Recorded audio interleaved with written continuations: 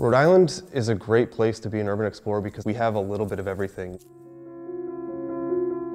You have the haunted Ramtail Mill remains in Foster, Rhode Island that goes back to 1822. It's the only place actually designated as haunted in a state census. We have an abandoned Gilded Age mansion in Newport that's just rotting away on the coast. It's actually currently being demolished right now, so that history is being erased. We have a milk can from the 1930s that was a crazy example of roadside vernacular architecture, which is when people would build these like huge gaudy structures to try to attract people to come in and spend their money.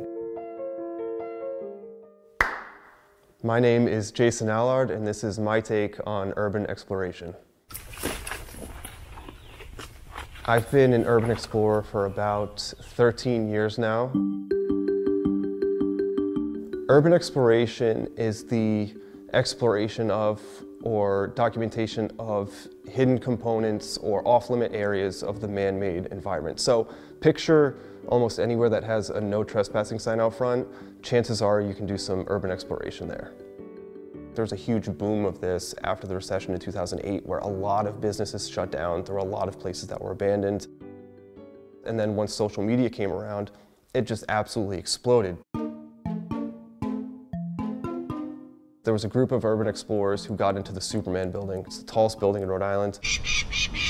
It's like a famous picture in the Urbex community of these guys at the very top of the Superman building overlooking the city of Providence. And they've still never had their identities revealed. Police don't know who they are. So there are actually rules to urban exploration that every urban explorer should follow.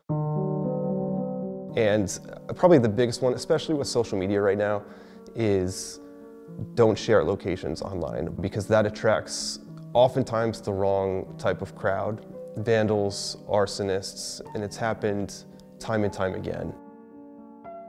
There was a drive-in theater on Route 146 in Sutton, Mass. It was actually the biggest drive-in movie screen in New England. I'd gone there several times um, to shoot video and just, you know, take in the sights because it's just, you know, it was left the way it was in 1994.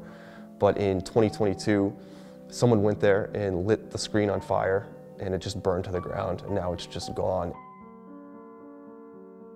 So that's why, you know, we keep locations close to us because we're afraid that something like that will happen again.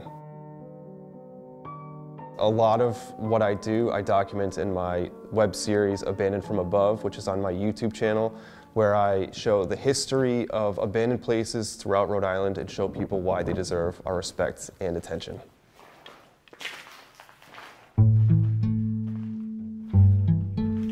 Before I even step foot into a place, I'm looking at blueprints to figure out exactly where we want to go, what we want to shoot, how we want to shoot it, and researching what the risks are associated with it. For example, the abandoned train station in Central Falls in Pawtucket it was built in 1916, abandoned in the 1950s, and it's just a, a beautiful example of architecture that's been left to decay.